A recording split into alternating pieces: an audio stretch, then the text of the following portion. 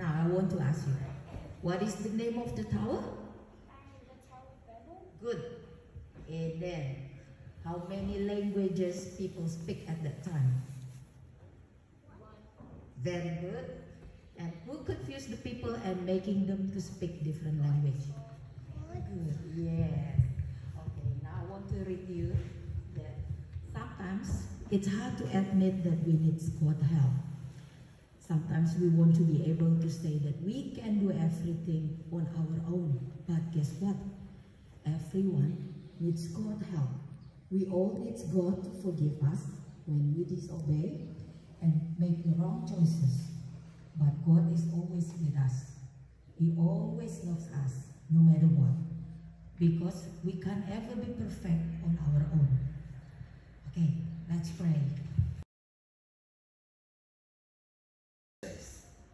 With seven priests bearing seven trumpets of rams' horns before the ark. On the seventh day you shall march around the city seven times, the priests blowing the trumpets, when they make long blasts with the ram horn, as soon as you hear the sound of the trumpet. Then all the people shall shout with a great shout, and the wall of the city will fall down flat and all the people shall charge straight ahead. So Joshua, sons of Nun, summoned the priests and said to them, Take up the take up the ark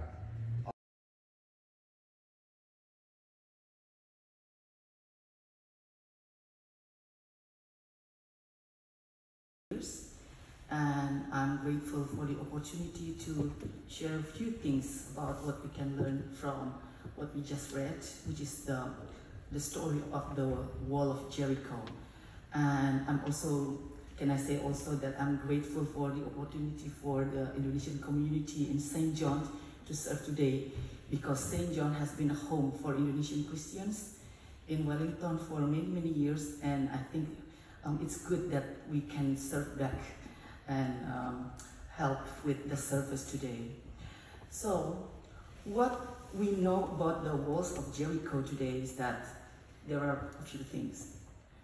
First, they were immense. And then these walls, they were around the city like a suit of armor. The city has two centric circles, the stickle of stone rising 40 feet above the ground, and then the walls were impenetrable. And here's what we know a little bit about the inhabitants.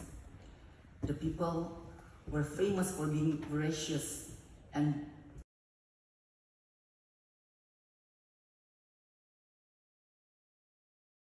We thank you, God, for the life you have granted us, for the togetherness with our congregation today.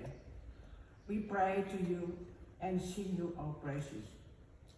We thank you, God, for you have crushed the wall of conceit as you crushed down the walls of Jericho, which had imprisoned us. You conquered the world and liberated us from the dead. We are grateful for the government and the people in this country, and we thank you that we can enjoy your amazing grace each and every day. Please, Lord, bestow wisdom to the authority to help them build constructive relations with other nations as well for the sake of their people. And we pray for our Christian fellow in some other places who may be under persecution. Give them strength and keep their faith. Look after the missionaries so that they convince that you fight for them who work to spread your words so they will continue to bring more souls to you.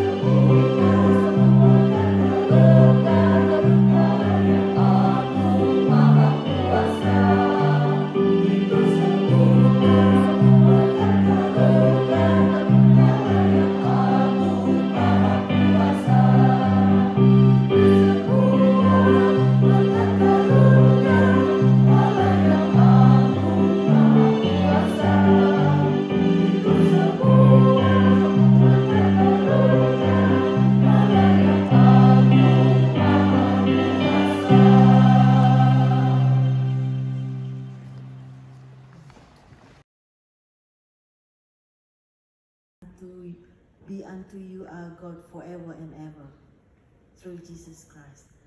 Our Father in heaven, hallowed be your name. Your kingdom come, your will be done, on earth as in heaven.